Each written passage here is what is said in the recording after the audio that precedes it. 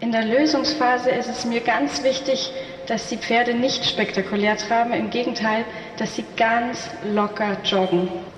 Lösen ist ähm, ein sehr wichtiges Thema und trotzdem sagen wir, lösen so kurz wie möglich, aber so lang wie nötig.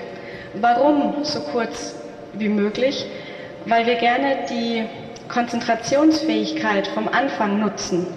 Schon fünfjährig, sechsjährig üben wir ohne Hand aufzunehmen, weil am Ende ist es doch das Ziel, dass es leicht aussieht. Und wenn wir das zu Hause nicht üben und im Training, dann wird es auch nicht leicht. Und jetzt versucht der Raffi mit seinem inneren Schenkel das innere Hinterbein nach vorne zu treiben mit seinem äußeren Zügel die Schulter nach innen zu führen. Super. Jetzt musst du wieder raus, sonst ist es zu lang. Einmal Schrittpause. Ganz gut. Richtig gut.